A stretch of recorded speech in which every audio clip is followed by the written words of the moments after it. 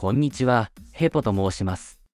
最近 AI に興味を持ち始めまして、少しずつ勉強してみています。これまでミュージック、トランスフォーマーの学習をさせて、AI に生成してもらった音楽を紹介してきましたが、これとは全く異なるツールで、音楽生成するやり方が紹介されていたので、試してみたいと思います。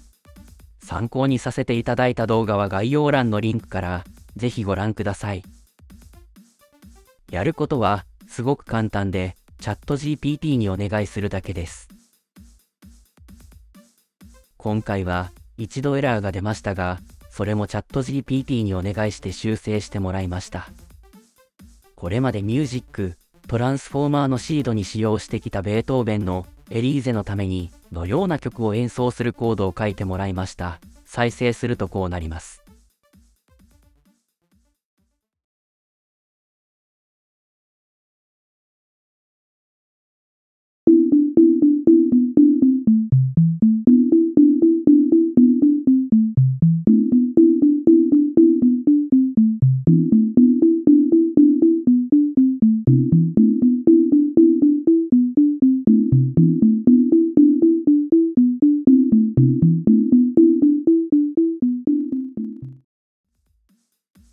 めちゃめちゃ簡単です。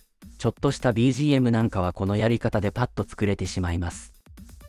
簡単すぎて、なんというか、愛着が湧かないのが弱点でしょうか。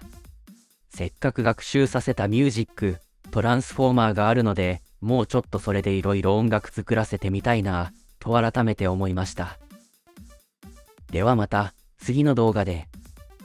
ご視聴ありがとうございました。